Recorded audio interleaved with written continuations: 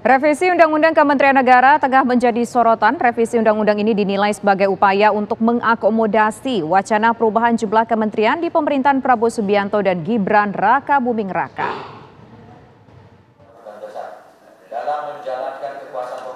Dewan Perwakilan Rakyat mulai membahas revisi Undang-Undang Kementerian Negara di tengah wacana penambahan jumlah menteri dalam Kabinet Presiden terpilih Prabowo Subianto mendatang. Menurut pakar politik Muhammad Kodari, Revisi aturan jumlah kementerian yang dilakukan bersamaan mengikuti visi dan misi Presiden terpilih sehingga dapat menjalankan seluruh program yang dicanangkan.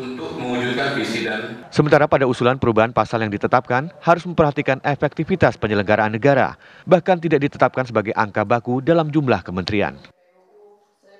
Ya menurut saya undang-undang ya menyesuaikan dengan apa yang menjadi visi dan visi dari Presiden terpilih kan uh, visi dan misi itu harus diimplementasikan salah satunya dalam bentuk kementerian gitu. jadi ya kementerian itu kan kita tahu ada undang-undangnya tentu saja eh, rencana-rencana uh, kementerian itu harus dibahas dengan DPR kalau memang ada perubahan-perubahan sebagai bentuk checks and balances tapi sekali lagi menurut saya ya uh, eh, DPR untuk urusan ini harus menyesuaikan dengan presiden terpilih saat ini Badan Legislatif DPR RI tengah merevisi Undang-Undang Nomor 38 Tahun 2008 tentang Kementerian Negara. Salah satu muatannya yang diubah yakni pada pasal 15 yang sejatinya mengatur jumlah keseluruhan kementerian paling banyak 34 kementerian. Dari Jakarta, Robin Freddy, TV One mengabarkan. Apa informasi terbaru dari rapat kerja Badan Legislasi DPR yang membahas revisi Undang-Undang Kementerian Negara? Langsung kita bergabung pemirsa dengan reporter TV One ada Prita Zega dari Gedung DPR RI Jakarta. Silakan Prita Zega.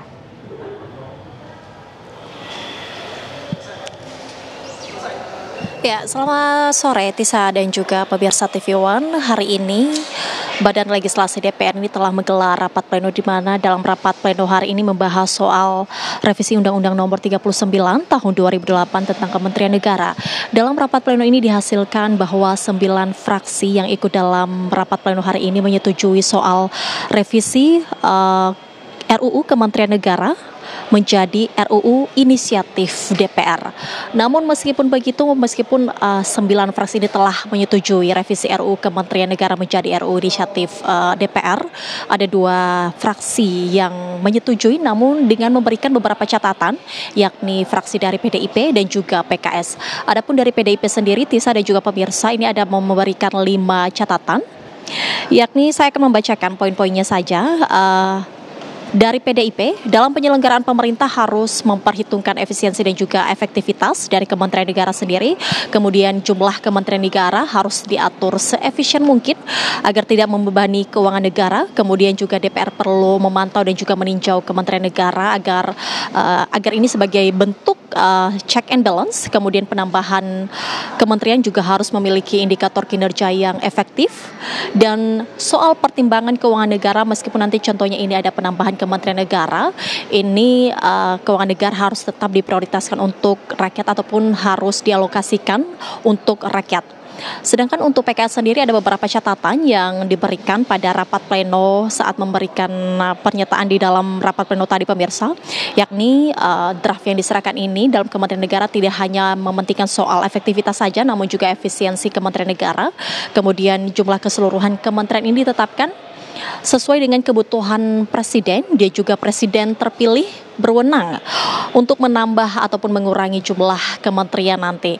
Nah, nanti pemirsa yang perlu diperhatikan dalam persetujuan ini pemirsa meskipun ada 34 kementerian negara yang memang nanti akan disetujui, ini uh, kewenangannya tetap penuh uh, kewenangannya penuhnya dari presiden terpilih di mana nanti setelah kesepakatan ini nantinya akan dibawa ke rapat paripurna DPR kemudian nanti akan ada kesepakatan ataupun rapat tingkat satu bersama presiden terpilih uh, yang juga nantinya akan bersama-sama dengan perwakilan Kementerian Negara baru nanti hasil akhirnya akan dibawa ke rapat paripurna akhir.